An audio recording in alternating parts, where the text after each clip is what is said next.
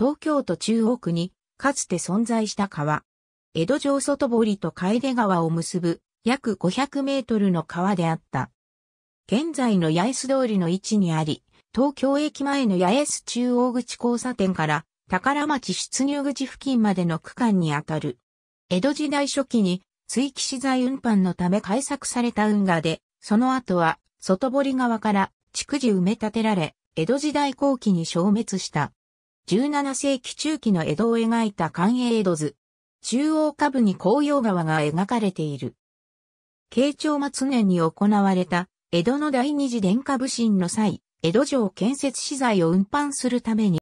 最も南にあたるのが京橋側で、日本橋側と京橋側のほぼ中間にあったのが紅葉川であった。その後、海岸の沖合が埋め立てられ、海岸と埋め立て地の間に残された水路が楓川と呼ばれることになる。紅葉川は江戸城外堀と楓川を結ぶ運河となった。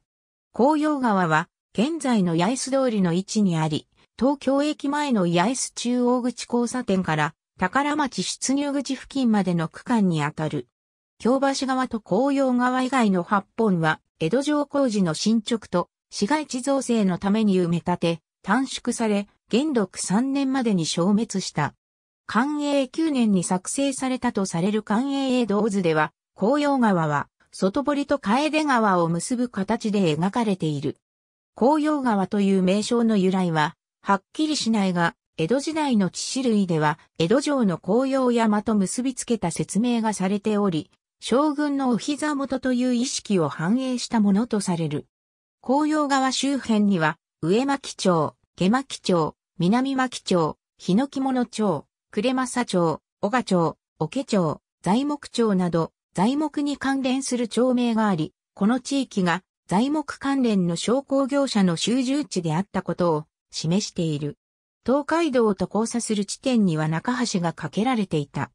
中橋という名称は日本橋と京橋の中間にあるところから来ている。郷土視野の鈴木里は中橋の南側に天満役を担う江戸の三天満町の一つ、南天満町があったことに注意を促し、江戸初期には中橋周辺が水運幹線と陸上交通の交差点であったと指摘する。紅葉川の西半分にあたる外堀と中橋の間の区間は、小法年間に埋め立てられて、過除地とされ、中橋広小路と呼ばれた。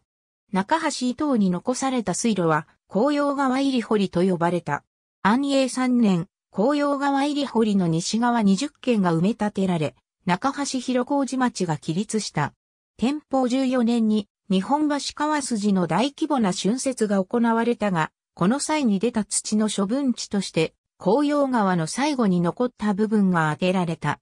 埋め立ては3年をかけて行われ、高下2年に紅葉川は消滅した。この毎地は新魚場となり、泉やサブロベに魚市場の運営を請け負わせ、幕府が営業税を徴収した。紅葉川の後は、近代に入ると、日本橋区と京橋区の境界となった。水路が消滅した後も、紅葉川の名は知られ、この地域で広く使われた。紅葉川と交差していた楓川について、もみじ川という読みを行う例があり、楓川という読みと混在している。紅葉と楓が縁語であること、紅葉川が江戸城紅葉山と結びつく、重みのある名であること、本来の紅葉川が重要度を失いつつ消滅する。一方で、楓川が重要な水路として残ったことが根葉の。原因という推測は可能である。中央区が管理する旧、楓川沿いの公園や区営住宅が、楓川と読まれる一方、中央区教育委員会が設置した看板では、楓川に、もみじ川と振り仮名が振られ、中央区間貢献定公式テキストでも、もみじ川の読みを採用している。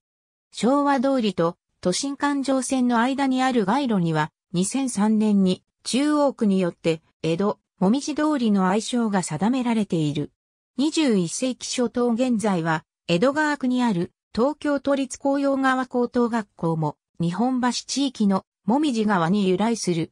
紅葉川高等学校の起源は、1908年に楓川近くの日本橋坂本町に設立された楓川専修女学校に求められ、1986年まで本校舎が日本橋地区に所在した。かつては日本橋区立紅葉川小学校や中央区立紅葉川中学校などの学校もあった。外堀側から以下の橋がかかっていた。橋の名は、地市によって表現が異なる。ありがとうございます。